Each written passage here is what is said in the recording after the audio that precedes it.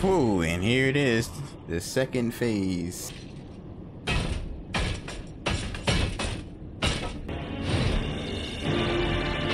Why you in lingerie?